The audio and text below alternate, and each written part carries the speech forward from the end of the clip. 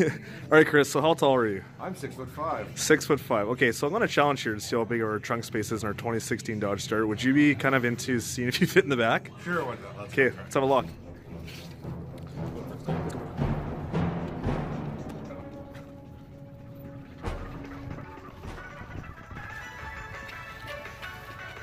I don't think so.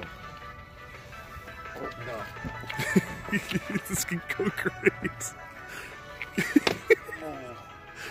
no? Nope. You can't fit in there, you can't fit in there.